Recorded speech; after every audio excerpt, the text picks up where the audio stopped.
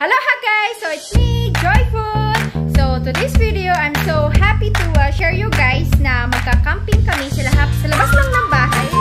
Wala lang, just to have fun. So,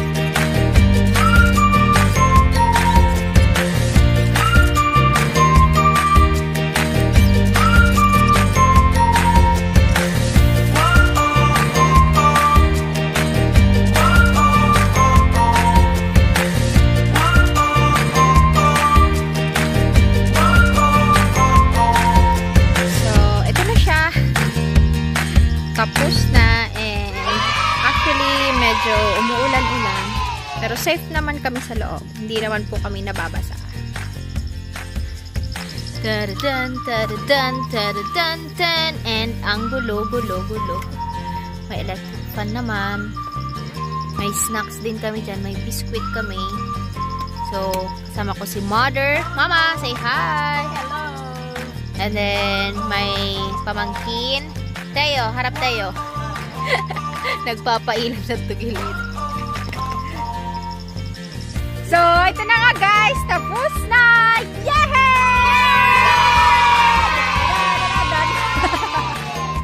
so, yun na. uh, we're having fun.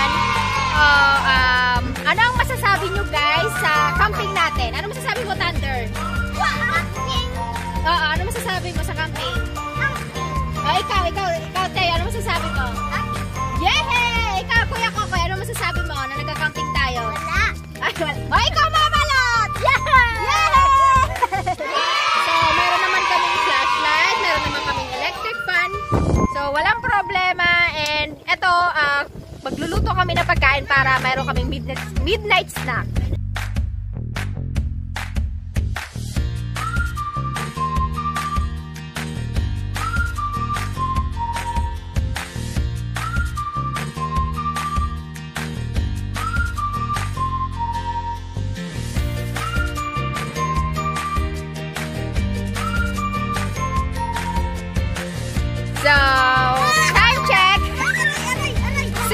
6.25 pa lang po, pero sobrang dilim na ng paligid. Parang alas 8 na ng gabi.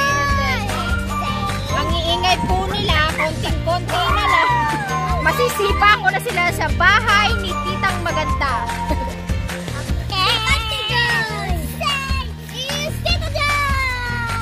And snacks, meron kami snacks. Bakit yung isa? Nasaan yung ibang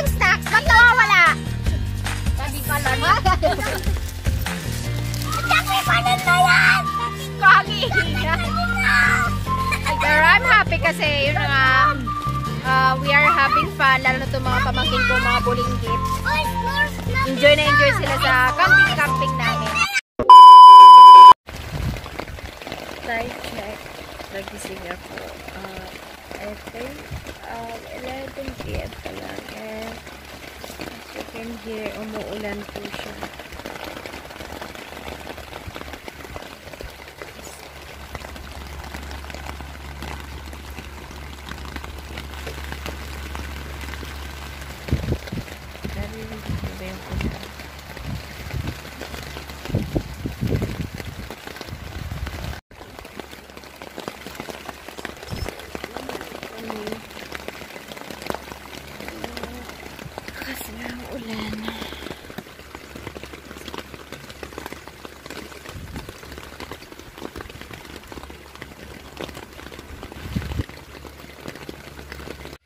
Good morning! Time check! It's already 6 a.m. So, Mama, how was your sleep?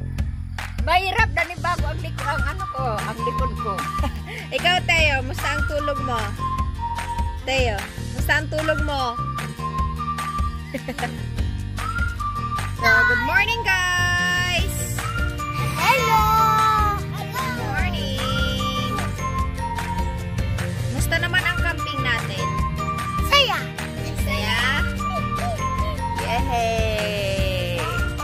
So, so far, successful naman ang camping namin sa harapan ng bahay.